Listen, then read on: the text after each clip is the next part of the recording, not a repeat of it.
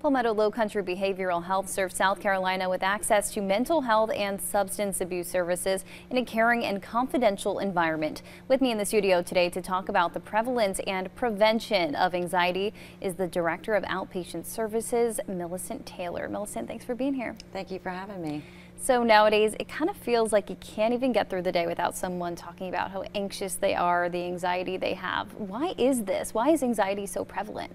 Well, anxiety is just a normal emotion that we all have. Um, it's when it, it gets in the way of your daily living that is when it becomes a problem, and then it, you might have what we call an anxiety disorder. So, for people watching who may be dealing with these anxious thoughts, what's the first step in reducing this anxiety? So, I would say small uh, changes in your lifestyle. Um, you know, even just something as simple as getting up and taking a small walk before you go and get your day started, mm -hmm. just to clear your mind, um, versus that rushing around that a lot of people do, mm -hmm. um, getting ready for work. Um, so just take small changes. So really, it, it, can be small. You don't have to, you know, do anything too crazy to, to kind of curb these thoughts that come into your mind. And you always hear also mindfulness. Is this another way to, to kind of curb these thoughts? Yeah, so mindfulness, we teach that um, in our outpatient uh, programs. And it's just being self-aware, mm -hmm. like knowing how you're feeling in the moment, where these thoughts coming from.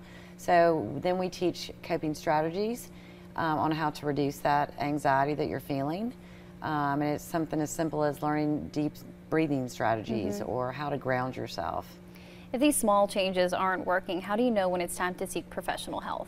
So if you if you think that your anxiety uh, is getting in the way of your daily living, um, then that's when you're going to need to to seek some help. Um, an example would be uh, someone that goes and waits all day and doesn't go to the grocery store until late, late at night just to avoid crowds. Maybe they have social anxiety.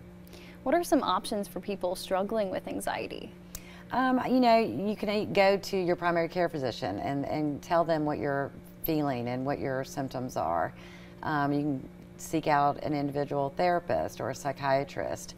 Um, and then you can also go to like an outpatient program like we have at Palmetto Lowcountry Behavioral Health um, where it's a group therapy setting and we're going to teach you all kinds of coping strategies to deal with anxiety and depression.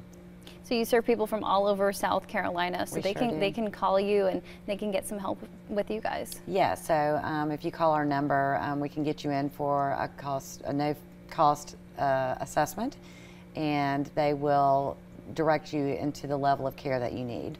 Millicent, thank you so much for being here today. Thank you for having me. And you can find how to contact them on your screen now. If you or a loved one is struggling with mental health, please reach out to Palmetto Lowcountry Behavioral Health. They are available 24 hours a day, seven days a week to discuss treatment options and schedule confidential, no cost assessments.